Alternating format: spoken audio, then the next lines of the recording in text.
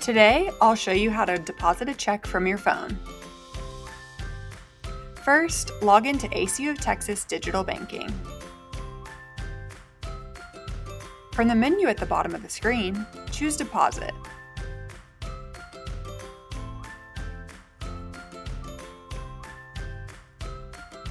Select which of your accounts you'd like to deposit the check into.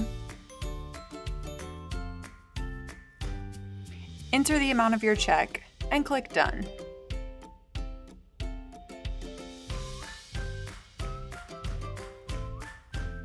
Click Add Front of Check, where you'll be prompted to take a photo of the front of your check.